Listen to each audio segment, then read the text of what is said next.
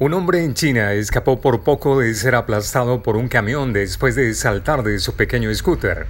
El aterrador momento fue captado en la ciudad de Jinhua, en la provincia de Xinjiang.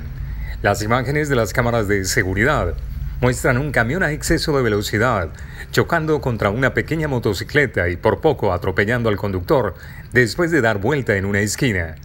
El hombre se observa saltando de la moto rápidamente, evitando por poco ser aplastado por el automotor. Según los informes, el motociclista llamado Shen vio el vehículo pesado de repente a toda velocidad hacia él cuando estaba cruzando la carretera y reaccionó para salvar la vida, pero su scooter quedó completamente destrozada. El tracto camión sufrió volcamiento lateral y terminó al otro lado de la carretera junto a un poste. El conductor sufrió heridas leves. El caso está en investigación. Para Cartago al Día les informó Harold Mauricio Rayo.